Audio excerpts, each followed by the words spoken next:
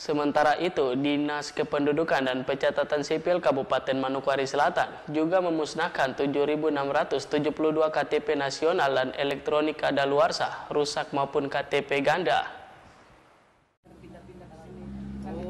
kan kan Sebanyak 7.672 keping kartu tanda penduduk KTP nasional maupun elektronik dimusnahkan oleh Dinas Kependudukan dan Pencatatan Sipil Kabupaten Manokwari Selatan.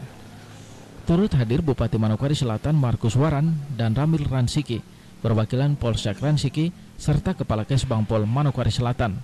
Dalam laporannya, Kepala Dinas Kependudukan dan Pencatatan Sipil Dukcapil Manokwari Selatan Eli Dahlia Kartika Sembor mengatakan KTP yang dimusnahkan merupakan KTP yang telah kadaluarsa, ganda, dan invalid karena pindah domisili, terdiri dari 3.496 KTP nasional dan 4.176 KTP elektronik.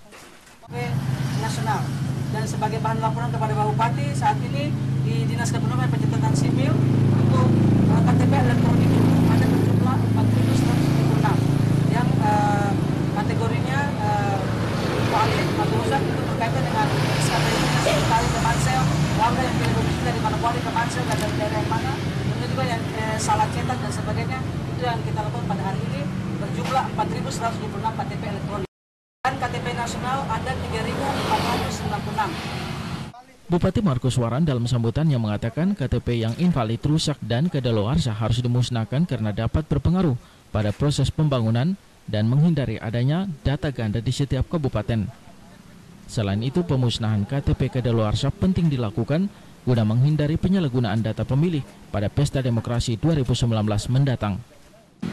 regulasi sebagaimana tadi dibacakan oleh Capil bahwa dokumen atau kartu tanda penduduk KTP yang valid atau rusak harus dimusnahkan. Hal ini eh, perlu kita lakukan karena nanti sangat berpengaruh dengan kondisi pembangunan secara global ke depan. Mengapa saya katakan demikian? Karena kartu penduduk ini sangat menunjukkan keabsahan kita sebagai warga pertama. Menunjukkan keabsahan kita sebagai warga negara kesatuan Republik Indonesia yang berasal dari kabupaten kota di mana kita berdomisili.